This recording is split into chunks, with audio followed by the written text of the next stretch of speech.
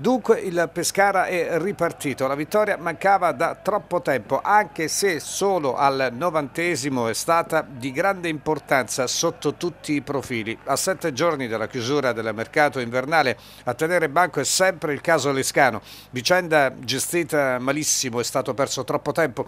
Nelle ultime ore è tornato insistente il pressing del Padova. Ospite del salotto solo calcio, Gerry Palomba, uno dei due agenti del dell'attaccante italo-argentino. Ecco i passi salienti.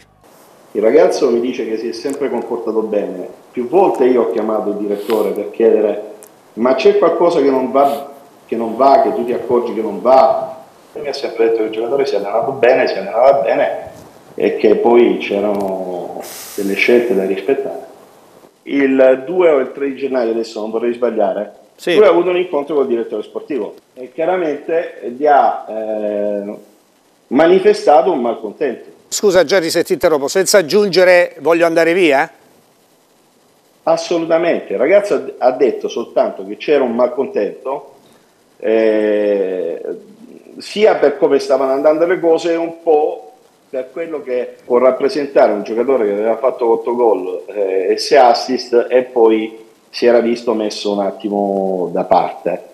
E il direttore mi ha detto, sai, ho sentito Facundo ieri, era abbastanza intristito da tutta la situazione, forse sarebbe meglio se ci mettiamo a guardare intorno sulle situazioni. Se tu mi dici così il 4-5 gennaio io ero a Firenze, lo ricordo perfettamente, vuol dire che noi proveremo a risolvere il problema. Se Facundo per voi diventa un problem- è un problema. Questa era una storia che poteva essere risolta in un attimo. Insomma è mancata la mediazione, noi lo diciamo da giorni, anzi da settimane, almeno io personalmente, la mediazione da parte del club, a mio avviso più da parte del direttore sportivo che funge sempre da cuscinetto tra squadra e appunto dirigenti e società per cercare di ricucire lo strappo tra il giocatore e l'allenatore. C'è stato un segnale da parte del club in questo senso oppure non vi siete sentiti? Non mi sono sentito, non mi sono, ma la cosa più giusta credo che... Eh, Quindi scusami, è... non è in programma un incontro nei prossimi giorni? Io mi sento ogni giorno con uh, Daniele De Riccardi, abbiamo